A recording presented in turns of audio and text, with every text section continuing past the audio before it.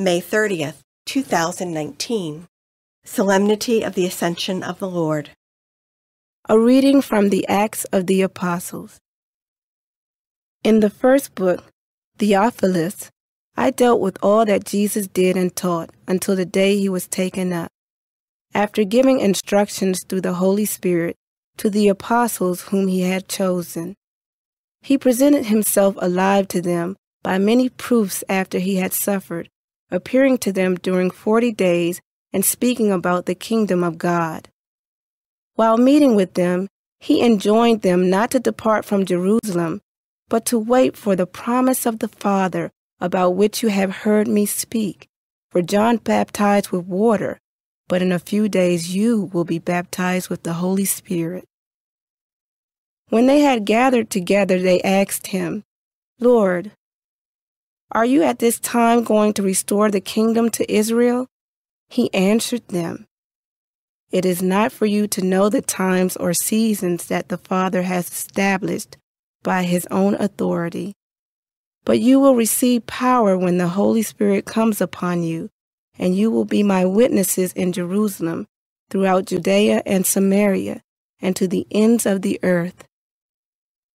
When he had said this, as they were looking on, he was lifted up, and a cloud took him from their sight.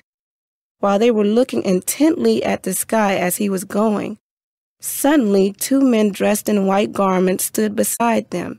They said, Men of Galilee, why are you standing there looking at the sky? This Jesus, who has been taken up from you into heaven, will return in the same way as you have seen him going into heaven. The word of the Lord.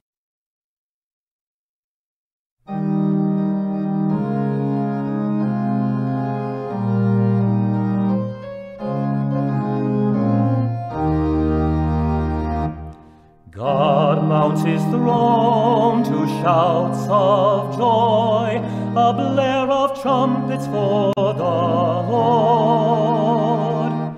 God mounts his throne trumpets for the Lord. All you peoples clap your hands, shout to God with cries of gladness. For the Lord, the Most High, the Awesome, is the great King over all the earth. God mounts his throne to shouts of joy, a blare of trumpets for the Lord. God mounts his throne amid shouts of joy, the Lord amid trumpet blasts. Sing praise to God, sing praise, sing praise to our King, sing praise. God mounts his throne to shouts of joy, a blare of trumpets for the Lord. For King of all the earth is God, sing hymns of praise.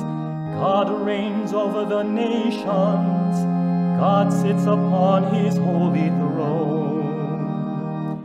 God mounts his throne to shouts of joy, a blare of trumpets for the Lord.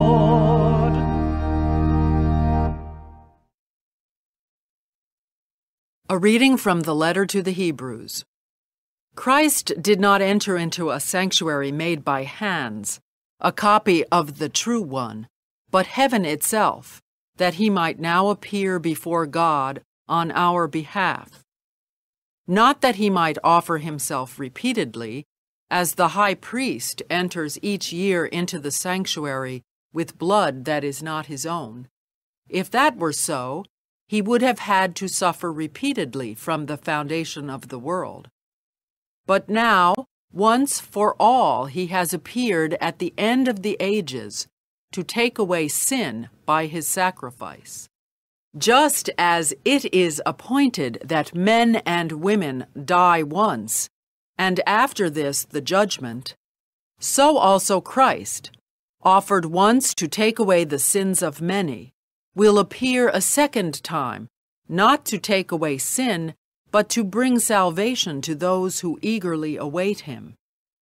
Therefore, brothers and sisters, since through the blood of Jesus we have confidence of entrance into the sanctuary by the new and living way he opened for us through the veil, that is, his flesh, and since we have a great priest over the house of God, let us approach with a sincere heart and in absolute trust, with our hearts sprinkled clean from an evil conscience and our bodies washed in pure water.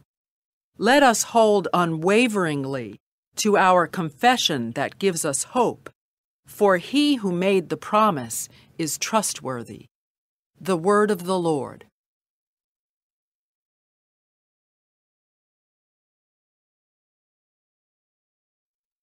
A reading from the Holy Gospel according to Luke.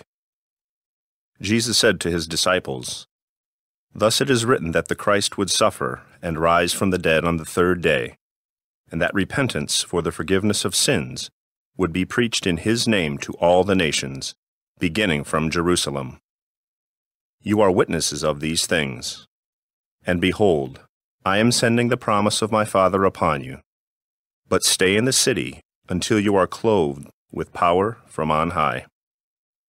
Then he led them out as far as Bethany, raised his hands, and blessed them.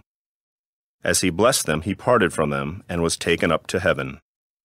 They did him homage, and then returned to Jerusalem with great joy. And they were continually in the temple praising God. The Gospel of the Lord.